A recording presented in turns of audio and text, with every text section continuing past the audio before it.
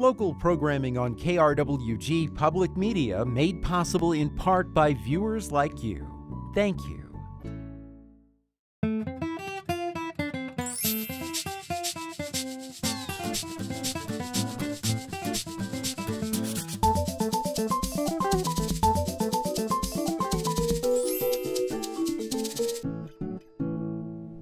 Hello and welcome to Fronteras, a Changing America. I'm your host, Anthony Moreno. Today we discuss healthcare, an issue that impacts us all. In New Mexico, a grassroots coalition is working to establish the New Mexico Health Security Plan. It's a plan they say can shift private insurance into a supplementary role. The group says this proposed healthcare plan can automatically cover most New Mexicans. Here to share more on this campaign and plan is Dr. Mary Feldblum, Executive Director of the Health Security for New Mexicans campaign. Dr. Feldblum, thank you so much for joining us. I'd like to begin if you could share with us a little bit about the campaign and your organization. It's a pleasure to be here, Anthony. Thank you for this interview because I think it's important that your your viewers really understand what we're trying to do we are probably the largest coalition in the history of our state. 170 organizations support this plan. And it's uh, um, very diverse uh, or, uh, coalition. In addition, 37 cities and counties have passed resolutions over the years in support of this plan. And that includes, it's been bipartisan, it includes Santa Fe, which you would expect, and it includes um, Roswell, which endorsed it several years ago. Mm-hmm. Okay, we, there's been a number of communities that we know that uh, have endorsed this plan. Uh, the plan that you're working on is legislation. It's the New Mexico Health Security Act. I'd like to hear from you a little bit about this act and why you think it's it's needed. Well, first of all, I think that COVID, the tragedy of COVID 19, has really exposed a lot of flaws in our healthcare system. People who had insurance through their employers may have lost that completely. And in addition, um, there, we're finding that the number of uninsured is increasing. In the last last year, it was estimated to be 187,000 New Mexicans, and it's grown 14 percent to 214,000 already, and that's probably an undercount. So we, have got a problem of health insecurity, really, where you can't count on health insurance. With this, if there's a downturn in the economy, it's your employer's choice whether to offer it, and then many people simply can't afford it, and many small employers can't afford it. And this is despite um, the heroic efforts of the Affordable Care Act, which has definitely reduced the rate of uninsured in New Mexico from uh, 22%, and last year it was 10%. Now it's gone up for sure. So the health security plan then would uh, allow us to set up our own health plan in New Mexico. And we have a state with a small population, 2 million people, to have what's called a multi payer uh, system where you have not only different insurance companies, but different insurance companies offer different policies, different copays, different deductibles. This has is an expense in and of itself to administer all those plans through the insurance industry, but it's also an expense to our hospitals, our clinics, and our doctors' offices who are have to to go th- wade through and and hire staff at, for that could go to health services and not to health administration. Yeah. The United States pays the highest rate of administration in uh, costs in the world. Well, let's talk about that a little bit because obviously there's so much that goes into administration of healthcare plans. Um, obviously, just healthcare in general is a confusing topic for a lot of people, and every year when people are trying to figure out what plan they're going to choose, there's a lot to understand. And when you talk about administrative cost, I'd like to hear how you think this plan could help lower administrative costs and streamline that that um, administrative uh, cost uh, function. Well, it's interesting. The recent fiscal analysis that was performed by KNG um, discussed the administrative overhead costs, and when you think about it, it's billing um, to insurance companies. Uh, all the work that goes in in terms of claims processing. And that is an enormous uh, piece of the problem. The Health Security Act um, is hoping to achieve a 5% administrative overhead for the plan itself. And in addition, as KNG points out, there are administrative savings for hospitals and clinics and for doctors' offices because they don't have to deal with all that complexity. And then they can hire extra nurses, extra staff, and actually maybe even spend more time with their patients than they do with the computer. Now you're talking about the nearly $400,000 fiscal analysis that KNG uh, Health Consulting out of Maryland uh, took a look at uh, the different scenarios of this proposed plan. There was, I believe, four scenarios. Is that correct? Yes, they had to do four scenarios because uh, they were asked to assume that the plan would begin in 2024 because it's going to take time to work out the details. And there are a lot of unknowns, as we all know. And so uh, economists love to do what ifs. So they were asked to come up with four different approaches, uh, different assumptions to deal with the cost and the revenue side of the health security plan. Now, one of these scenarios, uh, we should mention that this was the Legislative Finance Committee that uh, took a look at this and um, this analysis with, with KNG Health Consulting uh, to figure out if this plan was uh, fiscally uh, possible here in New Mexico. Now, it was reported earlier uh, this year that one plan would cost the state 5.8 billion dollars over the next five years. Now, you penned an op-ed recently that said that this scenario was the one that most news outlets focused on but weren't considering the possible changes down the road when savings could be possibly uh, obtained. Obviously, starting something this big is going to cost a lot of money, and that's really what a lot of people are concerned about, though, is how much this plan is going to cost. So, can you kind of share with us exactly how this plan is going to be feasible fiscally? Well, I think uh, people confuse the cost and the revenue side. So the first thing to do is to figure out what would this plan cost? It is assumed to have automatic coverage for most New Mexicans. KNG did not assume Medicare recipients in their cost analysis. And they came up with four scenarios, and I think for cost. And what they say in their in their final report, their uh, preliminary report had a lot of uh, problems with it and they had to correct them. But in their final report, they point out that the savings with health security compared, to what we're spending on healthcare, excluding Medicare, and is eh, the savings would be between 1.6 billion and 2.6 billion dollars within five years, and that's an enormous amount of savings. So that's that's uh, and and um, I figured out the rate of increase within this time. If you compare the rate of increase of the health security plan to the rate of increase um, in costs over the four-year period with that current system, again excluding Medicare, um, the current system is 16 percent, and the um, the four scenarios range from 11 percent to 7 percent increase. That's dramatic. And then comes the revenue side, and that's of course what with, the five billion you were talking about is a shortfall. In other words, you figure out a cost, and then what, how much public dollars can you assume to cover that cost, like Medicaid, and what are the premiums and employer contributions to cover that cost?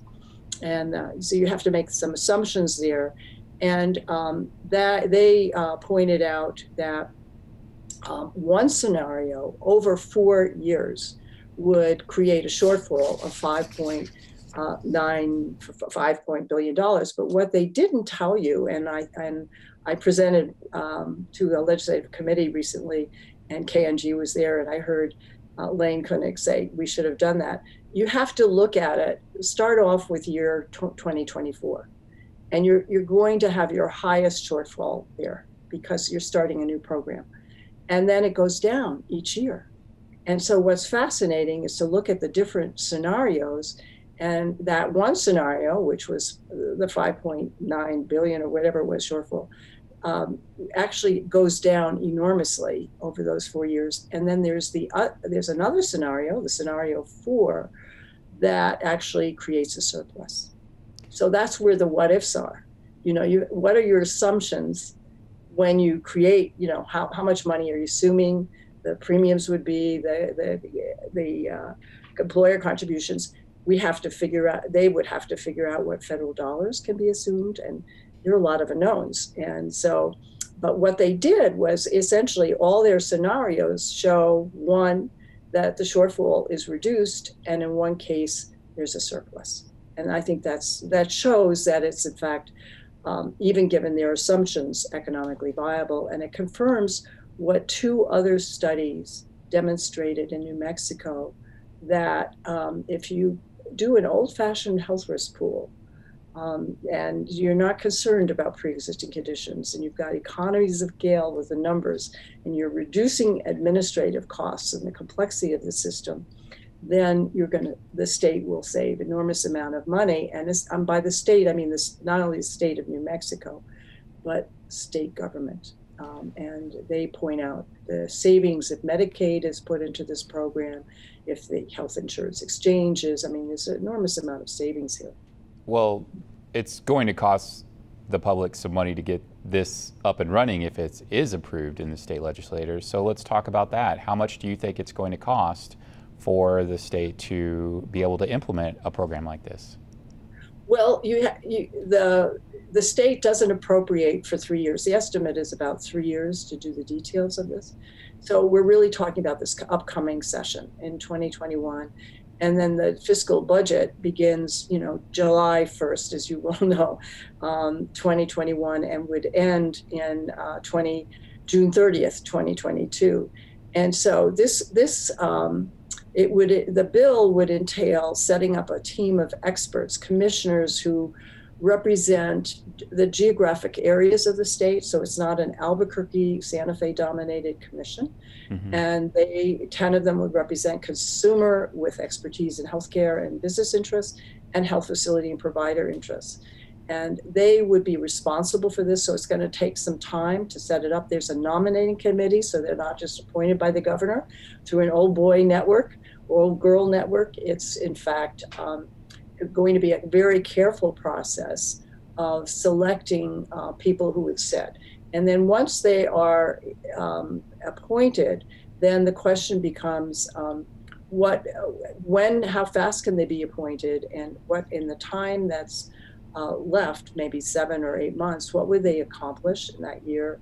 Uh, what staff would they need? Can there be staff, because we're in a budget crisis, staff used from the state, the insurance commissioner, from the attorney general, you know, from the legislative council, the, the Department of Health, Department of Human Services, there's staff that could actually help this commission with and what's exciting about it is this plan is structured like a cooperative. Yeah. so it's our plan. Anything they decide because all of us know we have no say really with our insurance company that sends us our premiums going up. And um, in this case, we're going to have a say, and doctors are going to have a say, and hospitals are going to have a say in how this plan is structured. It's a really wonderful opportunity for the state of New Mexico to develop something that is smothered in green and red chili, that it's ours.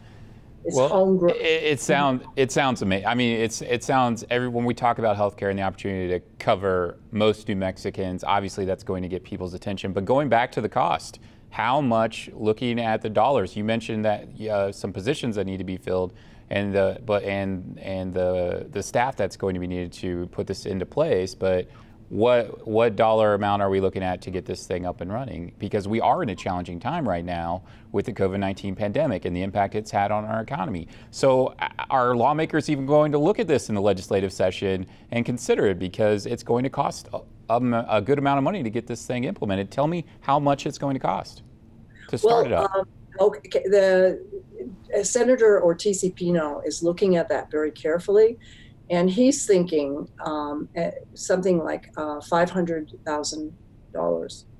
Um, uh, I mean, yeah, five hundred. Yeah. Are, are you uh, you're saying it's going to cost five hundred thousand dollars to begin this process? Is that annually? Is that initially? Annually? Yeah, I mean, tell me what. That would be initially, and um, and then it would have to be re- reconsidered the following session, and we don't know what the budget will look like then. There are two ways to fund this.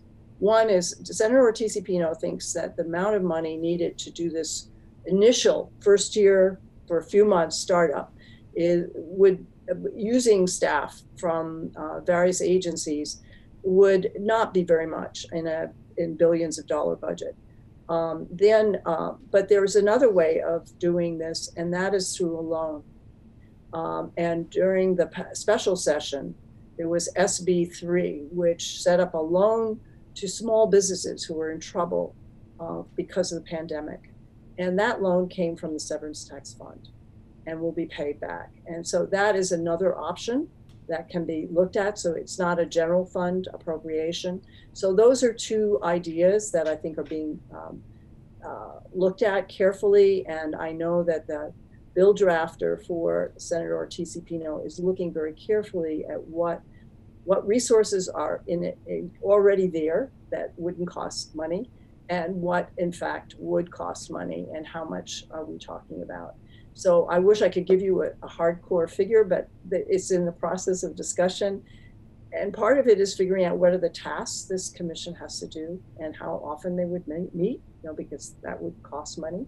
So all this kind of uh, uh, detail has to be carefully worked out. But the first year shouldn't cost very much.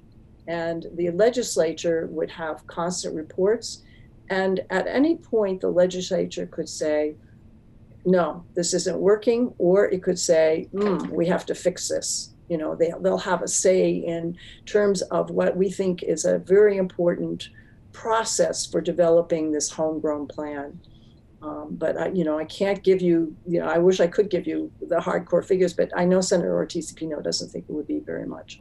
Well, our audience is certainly familiar with, uh, you know, how New Mexico government works, especially when it comes to the committee uh, hearings and how uh, legislation may change there. I, if you could share with us What's the difference between this proposal and universal health coverage that we're familiar with, that some countries, some developed countries have, many actually, and, mm-hmm. um, and some proposals that have been uh, floated at the national level uh, with our national representatives, federal re- representatives. So, what's the difference between this plan and that?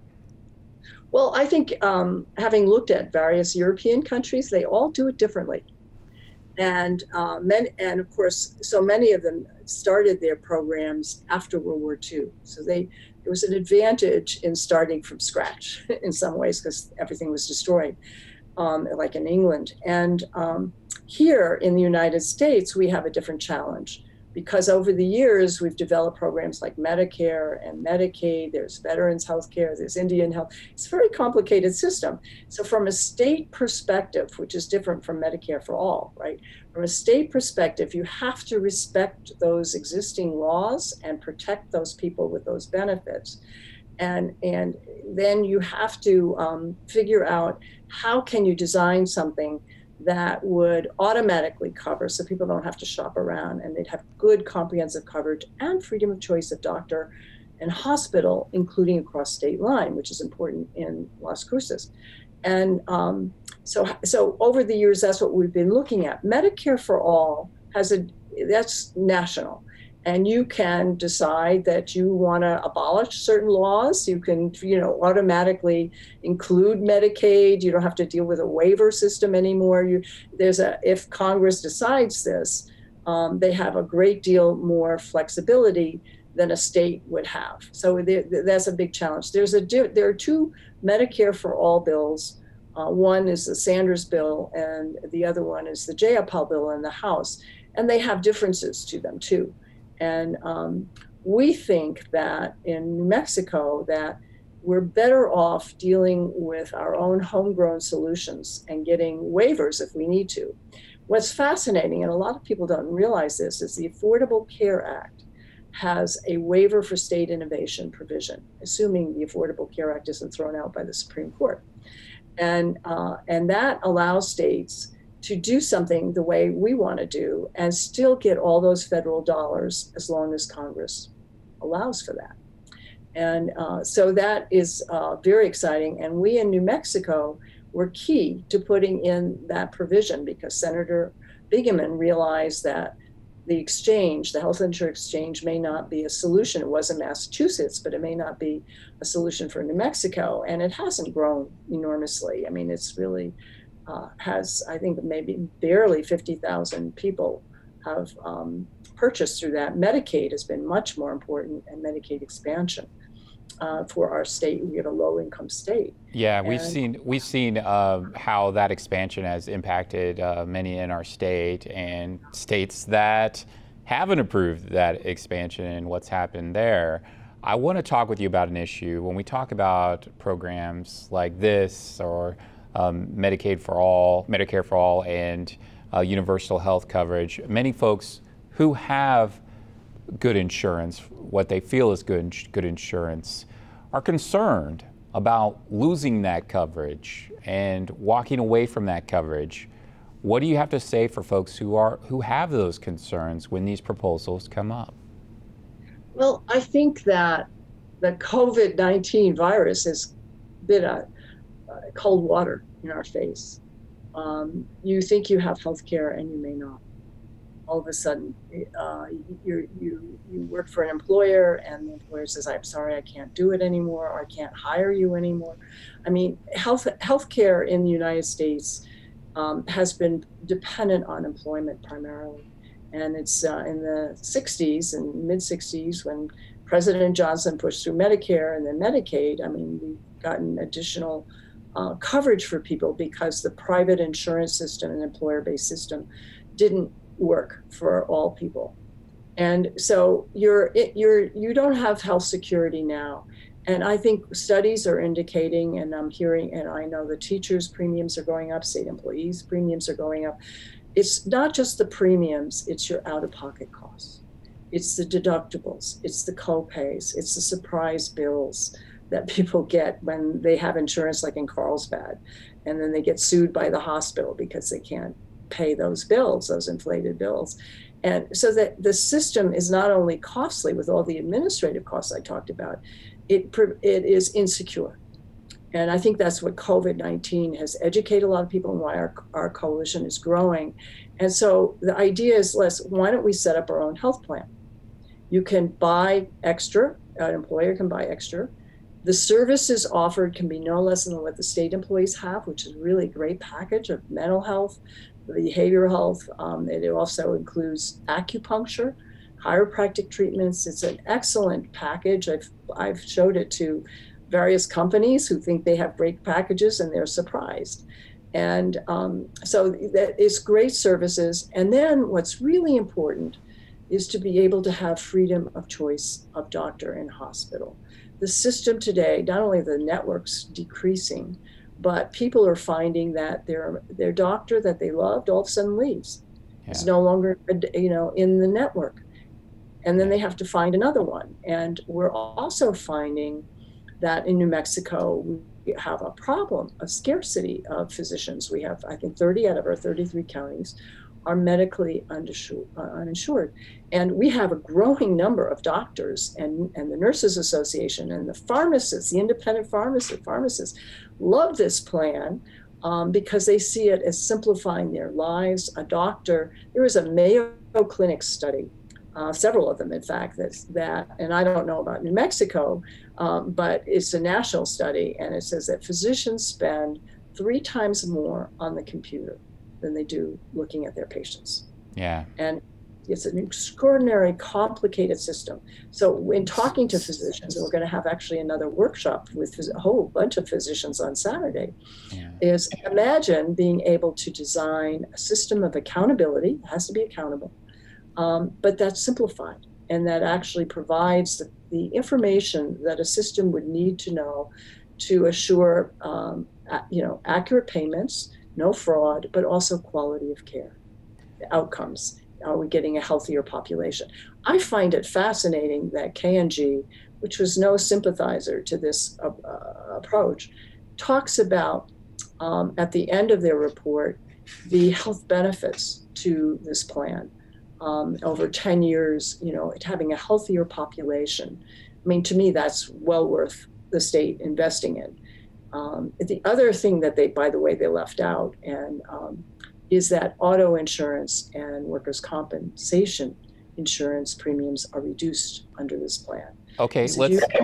that I, am sorry to interrupt, but we just have a minute left. But I want to ask you about drug prices and how you mm-hmm. think this plan can impact that. Absolutely, and we, the Pharmacists Association, in fact, helped develop the language in the bill. Uh, and imagine doing bulk purchasing of drugs. And I was concerned as 1.678 million people enough to have cloud. and I was assured yes, and there are networks around the country that this plan could join. And I think what's interesting, and in your area, Senator Jeff Steinborn introduced a bill that was passed that set up a pharmaceutical uh, purchasing council. And the idea was to have the state agencies purchase together um, and the, the fiscal analysis said that millions of dollars would be saved. Now, and Senator Steinborn wants to see this develop into something for the entire state. So, which is wonderful because that sets the stage for health security, which requires not only pharmaceutical drug pricing, bulk purchasing, but other medical equipment and supplies like wheelchairs, yeah. oxygen tanks. I mean, which um, are just overpriced. Okay, Dr. Mary Feldblum, I want to thank you so much for joining us. You, she is director, executive director of the Health Security for New Mexicans campaign. Uh, you could find out more information at their website. Thank you so much for joining us for the program. Thank you, and I'm willing to come back anytime. we want to thank you for joining us on Fronteras, a Changing America. I'm Anthony Moreno. We'll see you next time.